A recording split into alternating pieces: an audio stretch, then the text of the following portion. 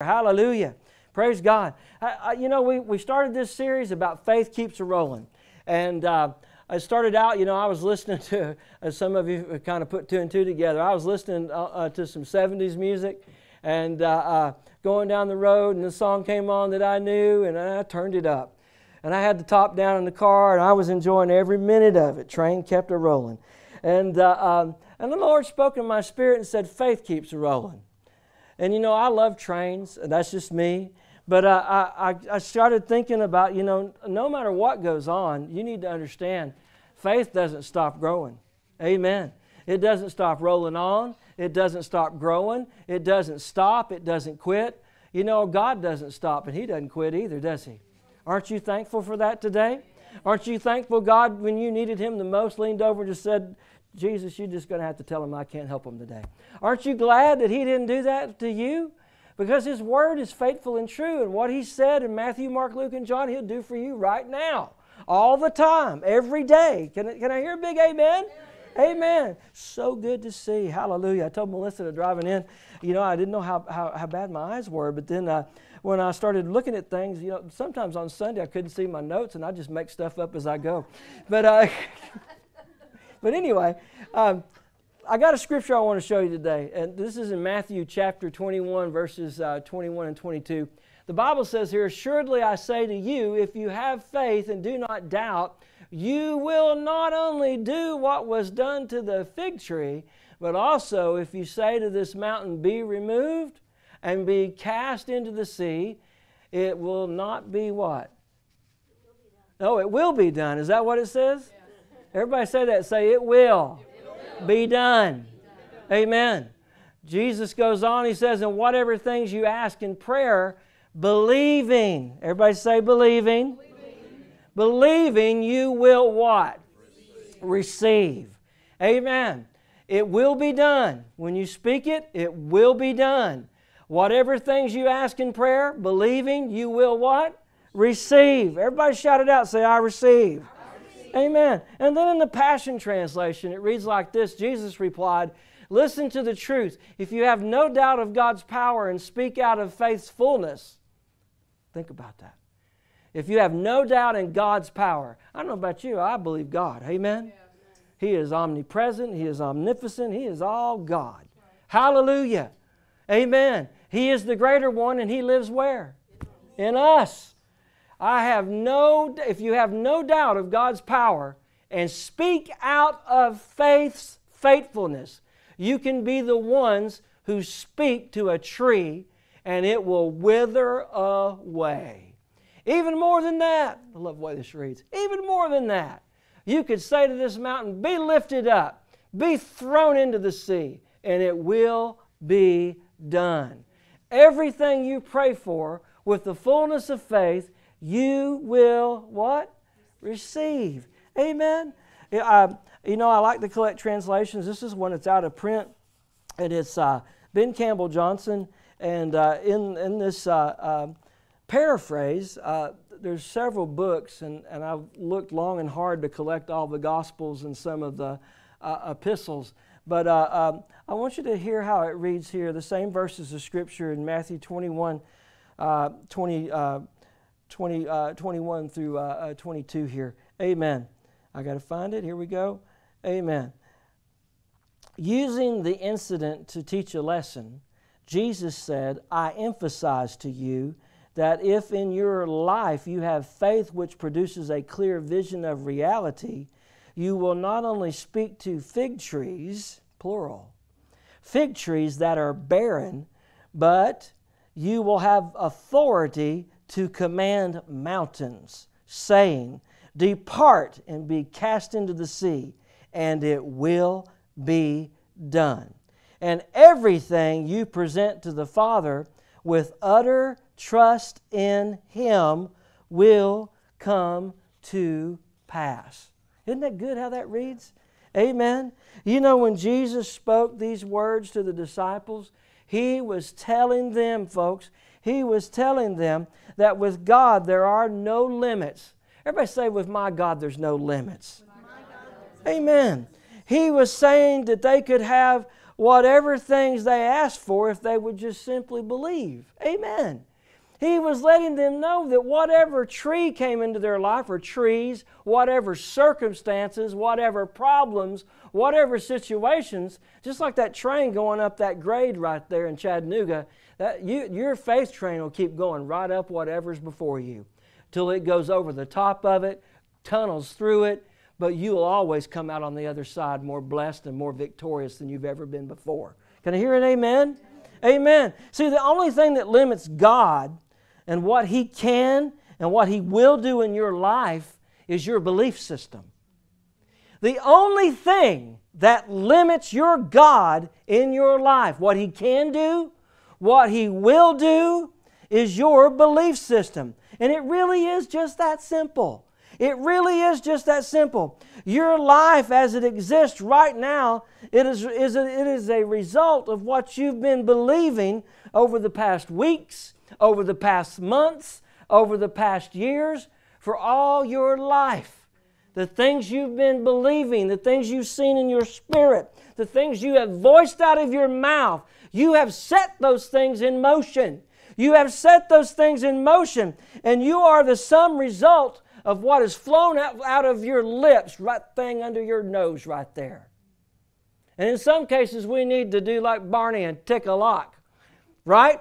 But in some cases, you need to take that lock off and speak the Father's word because His word will never return void. You have the authority, you control the, the narrative, but you're the one that has to act and speak His word. Can I hear an amen? See, the good news is, you know, uh, everything in your life can, that may be happening right now that's just not adding up the way you think it should, those things can change, but you need to first believe and you need to speak His word.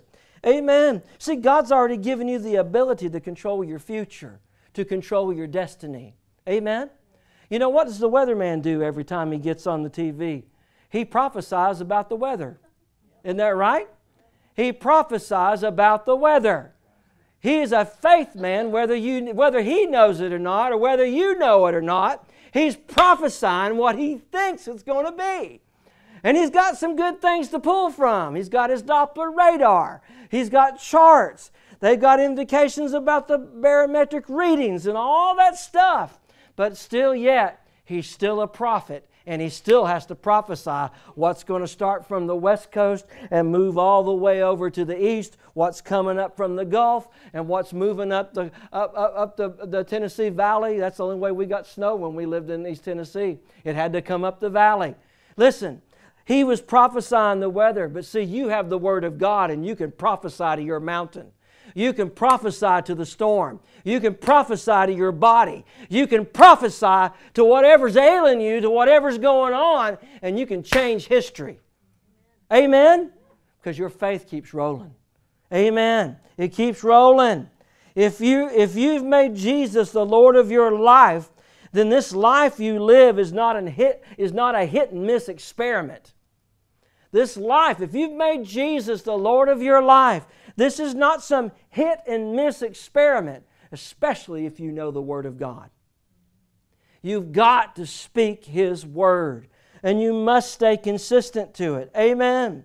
You know, it's just so vital and so important. Hallelujah. You know, you have been granted access to the things you desire through your ability to believe God. Let me say that again. You've been granted access to the things you desire to the things that you uh, desire through your ability to believe God. Amen. His word is His will, is it not?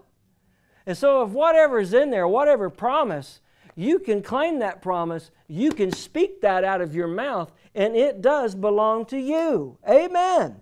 Hallelujah. Praise God. See, you can tap into limitless miracle power in your life. You can tap into limitless the limitless miracle power of God uh, the, just by simply having faith and not doubting and believing His Word. Amen. You know, Jesus wanted His disciples to think outside the box. I don't believe it was any accident He saw the fig tree that day. I believe He probably looked over His shoulder. He might have even uh, maybe raised his voice a little bit because you know that smart mouth Peter is going to pay attention in a heartbeat, isn't that right? He's going to have something to say. And you know, you know they sat back because in one, one of the Gospels it says they sat back and kind of mumbled to the, each other about, did you see that? He's talking to trees. That's what one translator wrote, at least. He's talking to that fig tree. He cursed it. Wow. Well, then they went on into town, but when they came back the next day, they all flipped out and said, Lord, look, that tree, it, it. They were shocked. It literally dried up from the roots and was dead. Wouldn't that have been something to see and hear them cackle about it and go on? But see, Jesus turned to him. He said, You know, just like I spoke to that tree, you can speak to any tree. You can speak to any problem. You can speak to any sickness. You can speak to any disease. You don't have to be a corona zombie. You are free from fear. You can let go of your fear. And you can walk in faith, and you know that God's faithful to you. Amen? You have the ability to change history. You have the ability to move mountains. You have the ability for things to absolutely turn around in your life. But the only thing that limits us in these things is our flesh and our natural mind.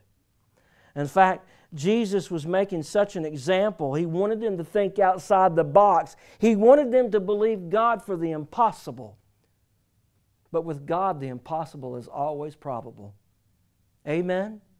Amen. The only limitations that God knows are the ones that you and I place on Him. Amen. See, Jesus was telling them the only requirement for receiving was their believing. He knew that the only obstacle to this kind of believing was their natural mind. Everybody say natural mind. Put your hand up there on your head and say, My natural mind. Oh, how many of you felt like you needed super glue to keep your mind stuck to your cracker, to keep yourself right at times? Yeah? You had things coming at you left and right, and you had opportunities to really just lose your noodle. And, and you know, I don't think I'm going to make it up that hill. No, I'm just not going to do it. There's so much going on. I just don't, I don't have enough coal in the box. I'm not going to make it. Well, you know what? You need to understand something about that, about that thing you got in between your ears called your brain. The natural mind will come up with lots of reasons why it can't happen. How many of you have ever experienced that? Your natural mind will come up with so many reasons why it can't happen. You know, it, it just, you know, it is not going to happen this time. I mean, your mind's going to reason out everything. I'm not going to do this or this or this because it, it, it ain't happening. And you know what you do when you get that way? You talk yourself right out of your blessing. And you know, I, I, we, were, we were talking in the truck yesterday. We were talking about, I was talk, I've, shared, I've shared this with the church before. I know times when I've gone to the hospital and you hear people talk, you know they're going to be stuck right where they are. You hear it. It never fails. Anytime uh, uh, someone's talking uh, scripture uh, and nothing else, they always get up and go. Amen. I remember talking to a cancer patient once, and when I walked into the room, they were talking about, oh, Pastor, I need you to pray for me. I know that Jesus is my healer. By his stripes, I've been made whole. But oh, this chemotherapy. Oh, you know, I'm so tired right now. I'm just so tired. Sometimes I just want to quit. But praise God, by his stripes, I'm made whole. Are you listening to that? It's that kind of talking can cost you your life. Amen. A lot of people go home to be with the Lord early because they never capture and get, get a handle on what's swimming around up here because it sure ain't the Word. We got to get a hold of the truth. It's the truth that'll set you up. Amen. The only thing that limits you is it, it, it's your natural mind, your flesh. Another point here I want you to get your natural mind will explain precisely why it won't work going back to the hospital again. That one cancer patient, they, they explained precisely why they were feeling like they were. And they owned that feeling. it was like a security blanket, just like the corona zombie syndrome. It's like a security blanket. I just believe it. I heard somebody say a, a couple months ago, I know it's going to get me. Wow. You know what? It did. Folks, God redeemed you from the spirit of fear. Sickness and disease is under your feet. And when I breathe air, it goes back out of me. And when my respiratory reps happens, it goes back out of me singing, There's power in the blood. Are you listening to me? I've sat in that hospital. I heard, uh, this was years and years ago. Pastor had sent me up there to pray for somebody, and I sat and listened to them. They're sweet, I love them. But you know what? Within one week, after saying all that stuff about chemo, and I'm so tired, within one week, they saw Jesus face to face. 48 years old. And the cancer they had wasn't that bad. But they talked them right into an early grave. Are y'all listening to me? Yeah. Pay attention to what you say. Your words, as Charles Capps says, are containers, just like my, my binder here. You know, I, can I can't zip it shut right now, but if I zip it shut, uh, it's got good truth in it. If I'm speaking good words in my life, those good truths, those good words, they will open up in my life and do dramatic things for me. But my words, if they're negative, if they're uh, full of fear, if there is no faith in it, those words, those containers will go produce things that you don't want and that you don't need. Are you here today? Why? Number two here, your natural mind will explain precisely why this won't work. You know, I heard uh, one thing about fear you need to understand there's a difference between the spirit of fear and common sense. There's a difference between the spirit of fear and wisdom. And we need to differentiate between the two. Common sense and wisdom says don't go off the cliff. That's why it's so far down, right? But if you're just going to walk off the cliff, boom, you're going to get to see Jesus early. Isn't that right? Common sense and wisdom says don't do that. Well, the spirit of fear will make you fearful of every little thing. Spiders, we were watching a sitcom. Uh, uh, this guy was constantly, you know, he's big man, big man, big man, woo, woo. And uh, anytime he sees a spider, hey, get the spider, baby, go get the spider, go kill the spider for me. It's amazing what people will glorify above the Word of God. And we got to stop, look, and listen to the words that we're speaking. Are you with me today? Amen. I know this might seem a little hard, but I'm telling you the truth. Your natural mind will explain precisely why I'll never have that. Or your natural mind will say foolish things like, well, God just hasn't seen fit to do that for me. What? You know, if you believe that, don't take your medicine. Are you listening to me? I take my medicine, but I also pray over it in faith too. You hear what I'm saying? God's not a child abuser.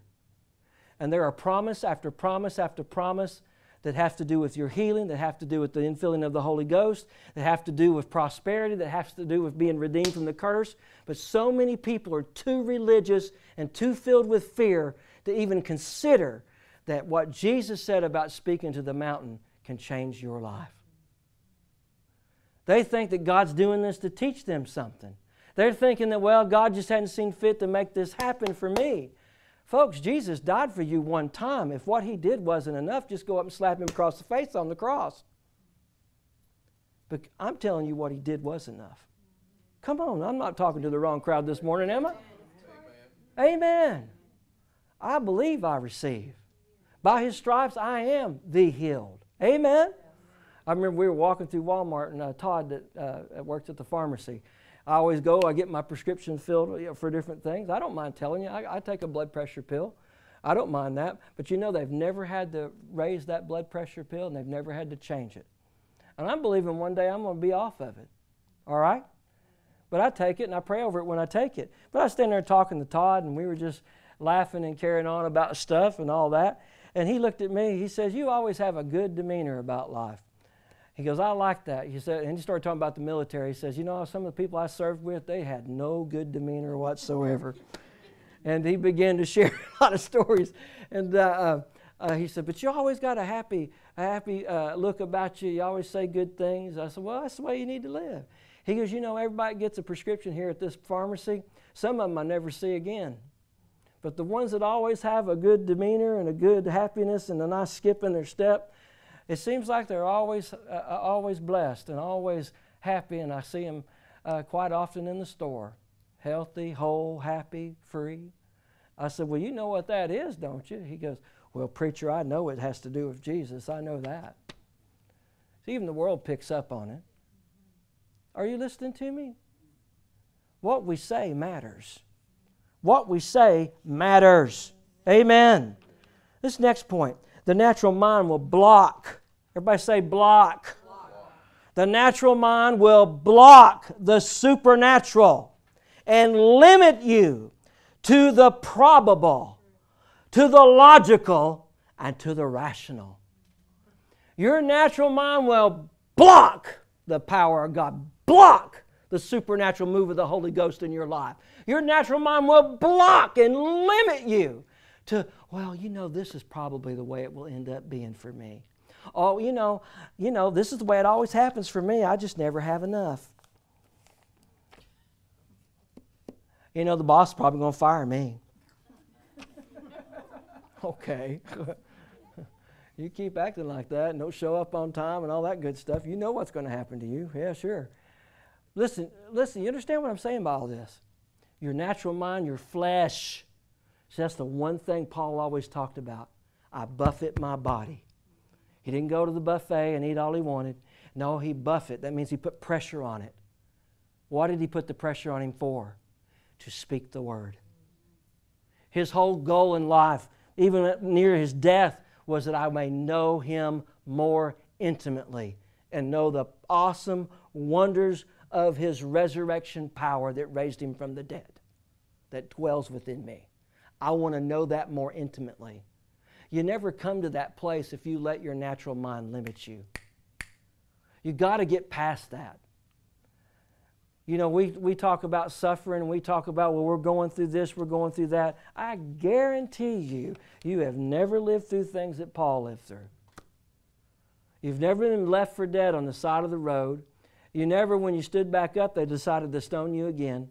You never found yourself shipwrecked, not once, not twice, but a couple different times. You never, uh, you never had to be snuck out of town because they were going to kill you. if any uh, being being being whipped and beat up and being in the cellar uh, down in the lowest part of the prison where the sewer runs. None of us have ever been there, have we? But Paul still said, "My one goal in life is that I know Him more intimately." See, speaking the word matters. Everybody say, "Speaking the word." Speaking the word. Matters. matters. Amen. If you want your faith to keep a rolling, you want to be like that kid's book. I meant to bring that book. Uh, I think I got it on my bookshelf. I ordered a special copy.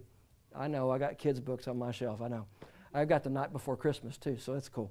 Uh, but uh, uh, I wanted that, that train book because, you know, that engine, I think I can, I think I can, I think I can, I think I can, right?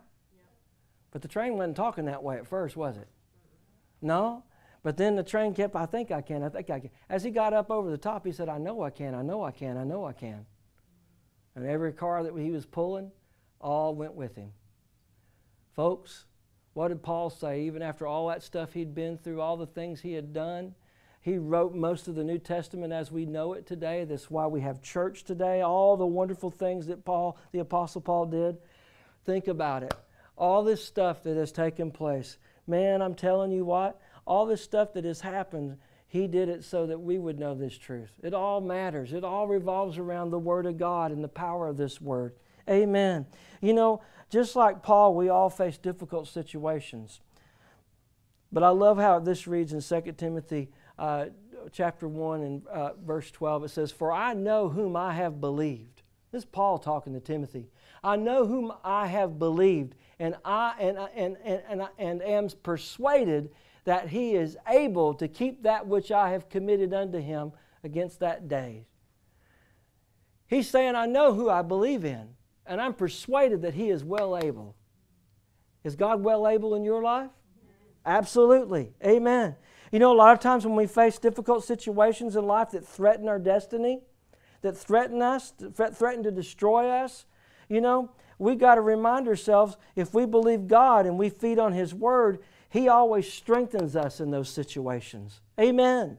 A lot of times we want to let, let, let our mind play tricks and, and go to what might happen, or, you know, I'm thinking this through, I just don't know if God's going to do it this time. we got to put a stop to those things that are the, the blockers of your faith. And you got to put a stop to those blockers and you got to begin to speak His Word and allow His Word to strengthen you. Allow yourself to get into worship and praise and allow His presence to strengthen you. The joy of the Lord is your what? Strength. And in His presence is fullness of what? Joy. You got to take the time to put the blockers up and keep those blockers of the flesh away from you so that your mind is focused on what the Word of God says and what the truth is because that's what matters. Amen. No matter what your situation, God's well able. Amen. He, you need to be persuaded that He's able, that He's got your back, that He's got you covered all the time. The Holy Spirit will strengthen you by might in your inner man, is how the scripture reads. With his mighty power, he'll enable you to stand. He'll cause you to grow stronger and mature in the grace uh, and faith that comes from within. Amen. He'll cause you to grow stronger, to have that full, full head of steam so that you can make it anywhere you got to go because faith always keeps rolling. Amen. Hallelujah. You know what the devil intended to mess your life up can actually cause you to turn to God with such faith and power if you just realize what the, what's happening. When the devil's throwing rocks at you, throwing, throwing snowballs at you, trying to get you to react, well, that's the time you got to realize you turn to God and His Word with such faith that God's grace is imparted to your spirit and your soul, your mind, your will, and your emotion. And you allow the King to turn around your situation because that's what He specializes in, isn't it? He's a turnaround king. But you know what? No matter what the difficult situation is, God can turn it around. Amen. When Paul went through some of the greatest adversities we could ever read, you know, uh, he wrote some of the most inspiring works of, of, of faith and power, though, that we read in the New Testament under the midst of heavy, heavy persecution and adversity. But you know what? You've got to remind yourselves look at that hall of faith in, in, in, the book of Hebrews. Many of the greatest men and women in the Bible that, that, uh, that served God, that followed God, they all faced challenges that came from dealing with situations and dealing with mountains. They all faced challenges from dealing with situations and dealing with mountains, but yet they refused to quit. They acted on the word and they found strength to do the will of God because they acted on what the Word said. Amen. You know, today, before I let you go today, listen, today you and I uh, have a, ha, play a part in, the determ- in determining the voice of faith that flows in our life. We all play a part in the voice of faith that is flowing out of our lives. What we do when we're facing the pressures of life, that matters. That matters. What we say matters. What, what, what's the secret of, of surviving and finishing your course? Well, the answer is always found in the Word, isn't that right? Look at James here. James chapter 1, verses 2 and 4. Notice what it says on the screen here. It says, My brethren, count it all joy when you fall into divers temptations, knowing that the trying of your faith works what? Well, there's just a few people that said the word patience. The trying of your faith works what? Patience. patience. I know people don't like that. How many of you remember as a kid when your mom or your dad said you need to be patient? Did anybody ever say that to you? I remember one time I told my I stomped my foot, and, I, and before Matthew and David were born, and I stomped my foot, and I said, I don't want to be patient. Man, she slapped me into next week. Man.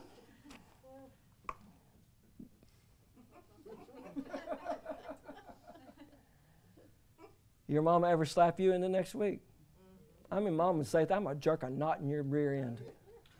I got to laughing one day. She said that to me. I thought, I wonder what that'd look like, having a knot jerked in my rear end.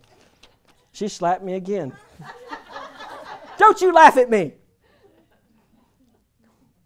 I love my mom. She, she, she made me into the man that I am. Amen. But notice what it says trials, testing, trying of your faith is going to work what? patience. James goes on to say, but let patience have her what? Perfect work. That you may be perfect and entire, wanting nothing. You know, where does a diamond come from? Coal, heat, pressure. You go back further than that, comes from former life, former stuff, former rocks, former oil. We can go back and really break it down. But a diamond, something that's so precious and pretty, literally comes from a piece of coal that was put under a lot of pressure. And that pressure produced something beautiful and something wonderful. Amen. A lot of the most successful people in, our, in the world, they'll tell you that they didn't start out that way. Yeah. They'll tell you that they did things to get where they were uh, we watched a thing on the History Channel about the, the uh, food in America. It was really powerful. All the different stories of fast food restaurants and uh, different types of food. the Kellogg's company was just an amazing story. Um, but just so many things. But it didn't start out perfect. Do you know that some, some of the cornflakes were started out being institutional food? for, for, for patients with had problems uh, with their emotions and stuff. Did you know that? And there's just so much I learned from watching that, and I was like, well, that's amazing. But man, he, he patented his cereal, and boy, what a company now. And they don't just own cereal now; they own all sorts of stuff, just like the Mars family. They don't just make uh, M&Ms and Snickers and Milky Way, but they, they, they own Uncle Ben's and all sorts of other uh, uh, food uh? Dog food, they make tons of dog food, uh, all sorts of stuff. There's stuff you don't know. But they didn't start out that way. They didn't start out being successful. Pressure was put on them. Pressure came on the scene. And a lot of times we want to quit when pressure's on. A lot of times we want to stop. We want to whine. We want to bellyache. We want to pitch a fit. I don't want to be patient. you know, let me use that illustration like this.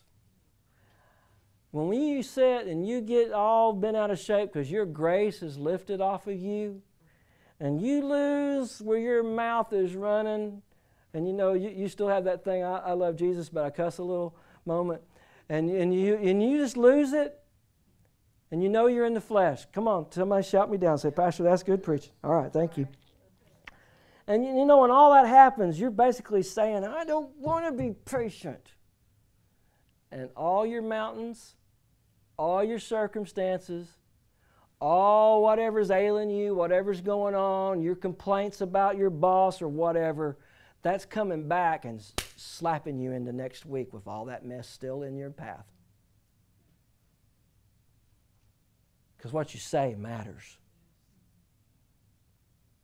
the Spirit of grace rising on the inside of you matters. See, we have to let patience work in our life so that we can be perfect just like a diamond, entire, whole, wanting absolutely nothing because our faith has seen us all the way through. We made it up that mountain and over the other side. We tunneled through it we maybe put some TNT and, and, a lot of a lot of explosive caps down the down the rocks and stuff, and we blew the mountain open so we could go through it. But all that revolves around your stand of faith. Amen. See, faith keeps rolling. When you're facing different kinds of adversity, you don't lose your joy. Did you hear me? When you're facing all sorts of pressure, all sorts of adversity, you don't lose your joy. You just don't. You cannot give it up. See, the joy of the Lord is your strength, as it says in Nehemiah 8:10. Amen. And the joy of the Lord will strengthen you in your inner man and fortify your faith.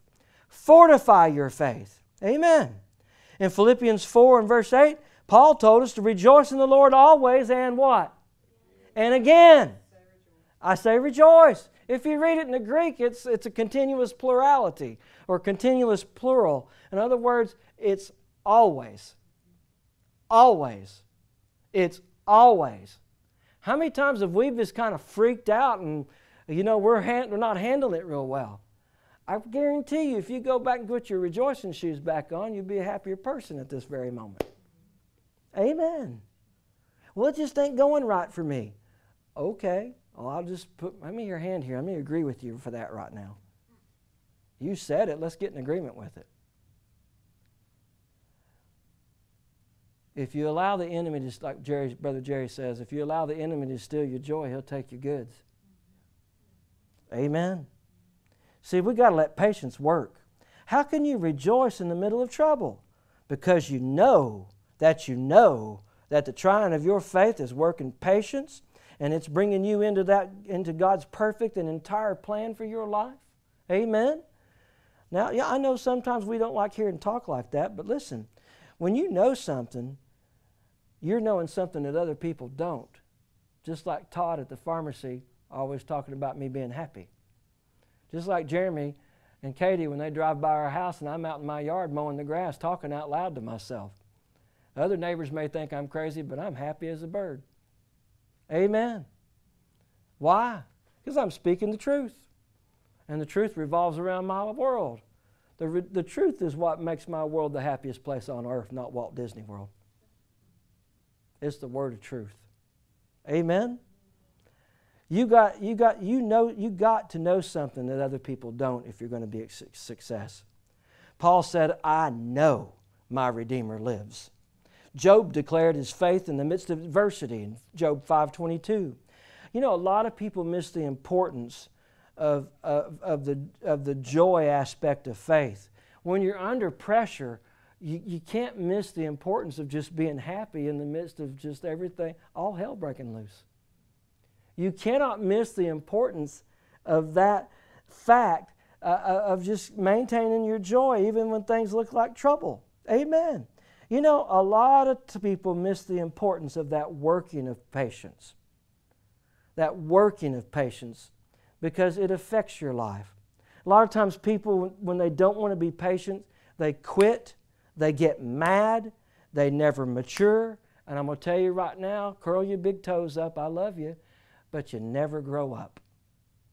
And you'll spend your life going around the same mountain over and over. Things will get good, but then that same spirit of not wanting to be patient, that attitude, that, that thing wells up because you're not getting your way and you're stomping your feet, and your troubles smack you into the next job, the next situation, and you go through the same mountain again, go through the same trouble again. And, you, and, and, and people, sometimes people get that way, they end up blaming God and pull away from Jesus. And then some people say, well, it's just my cross to bear. But all that's wrong. Everything in, in, in, in the words that we speak is what keeps our faith rolling on down the road. Amen? Last verse here. 1 Peter uh, chapter uh, 1, verses 8 through 9. Uh, I just want you to, to hear this with me here. Uh, look at it on the screen too. But uh, 1 Peter chapter 1, verses 8 and 9. Yet believing you rejoice with joy unspeakable and full of what? Glory. Glory. Receiving what? The end of your faith. I like saying it like this I believe you, Jesus. I'm going to rejoice with joy unspeakable and full of glory because your glory lives on the inside of me. And I'm always receiving the end of those things that I've prayed for because I'm standing strong in faith. Amen? Listen, once you know and understand, you no longer have to get angry or depressed when things are, are full of, full of adversity. Instead, you act on the Word of God and you'll find yourself growing strong and mighty in spirit. You'll find yourself being that overcomer. And I promise you, you need to get yourself ready because the sweet sound of victory is rolling right into your train station right now. Amen. Because what He did for you, what He did for me on the cross, was more than enough. And he did all these things. He taught us all these things. He inspired the apostles to teach us even more. Even more. We learn lessons of love from, from the Apostle John. We, we learn lessons uh, about church and all the different things about faith from, from all the rest, all, from Peter, from, from, from uh, uh, Luke, from all the different ones, everything that they wrote and they wrote down, and Paul, all those things. It's those things that we grow in, that we grow our faith in, that causes us to be mighty in spirit. I tell you, when you do those things, you will always see yourself as that overcomer. And I want to tell you something this morning. Right now, where you're at, whatever it is you're believing for, I am telling you right now, what God has promised in His Word, that is what will happen when you believe it. Amen. When not only do you believe it, but you speak it. So I'm challenging you today. Create a new life for yourself, a life of joy, a life of peace. Be connected to God in ways that you've never dreamed of before. And let's live your dream by doing what Jesus said to do to speak the word, to believe, because your believing has no limits whatsoever. Can I hear a big amen this morning? Praise God. I want Pastor Matthew to come up here and I want him to share with you the central theme this morning before we go. Amen. Did you learn something today? Amen. amen. Pastor Matthew, too, you know, do the altar call this morning. But uh, I want you to listen to this, these next words that you're going to hear. And I know it's in your handout, but I'd like for you this morning uh, uh, just speak it in faith what, what, what you're going to hear next. Amen. Praise God.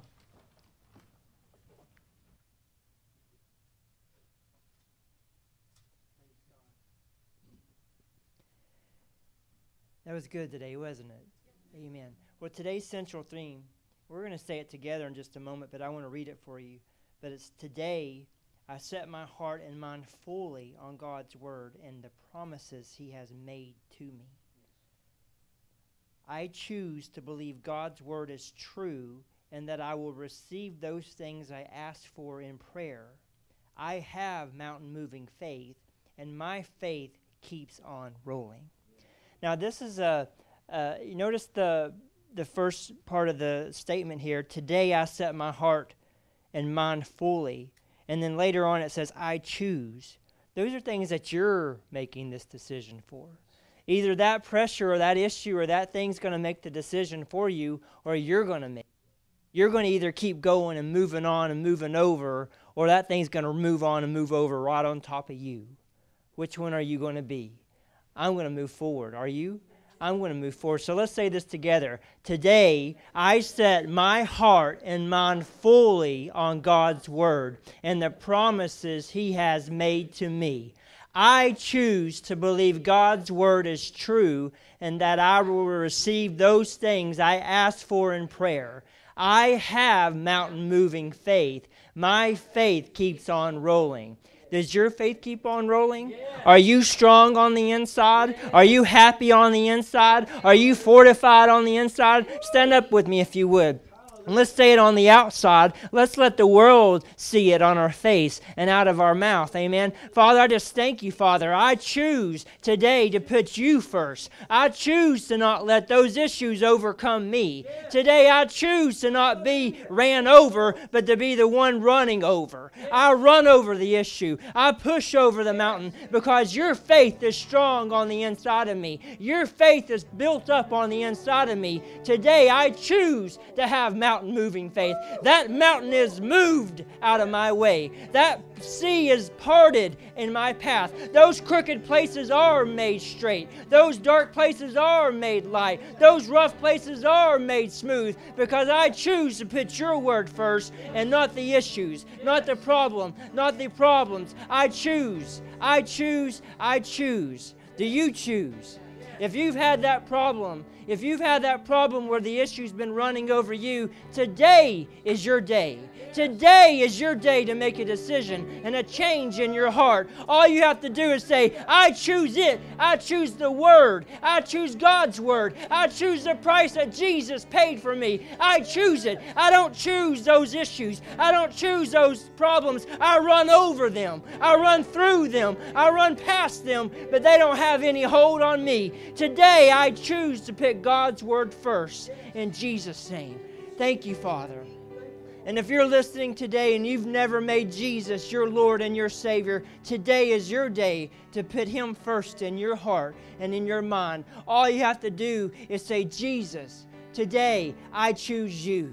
Jesus, today I put you first in my heart. Jesus, be my Lord and Savior. Forgive me of all my sins. Forgive me of all my trespasses. Today I choose you, and I thank you that you're my Lord and Savior. And if you made that decision, tell somebody. Tell someone that you're near. Tell, call Pastor James and Melissa at home. Text Pastor Thomas at midnight. Whatever you have to do, tell somebody about that. Amen. Today is your day. Today is your day. Do you believe that? Amen. Amen. Let's pray together. Heavenly Father, we thank you for how good you are, for how merciful you are. Thank you for sending Jesus to die for us, that we are happy, that we are whole, that we are forgiven, that we're saved, that we're going to heaven. And I thank you. We just give you all the praise and glory. And today is the day that we're moving on through this, past this, over this. And we thank you, Jesus. You deserve all the praise and glory. In Jesus' name, amen. Amen. Praise God.